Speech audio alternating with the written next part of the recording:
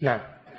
صلى الله عليكم سماحة الوالد. يقول السائل في قول الله جل وعلا لا ترفعوا أصواتكم فوق صوت النبي هل يدل على أنه إذا رفع النبي صلى الله عليه وسلم صوته فإن مخاطبه يرفع صوته بحيث لا يكون أرفع من صوت النبي صلى الله عليه وسلم؟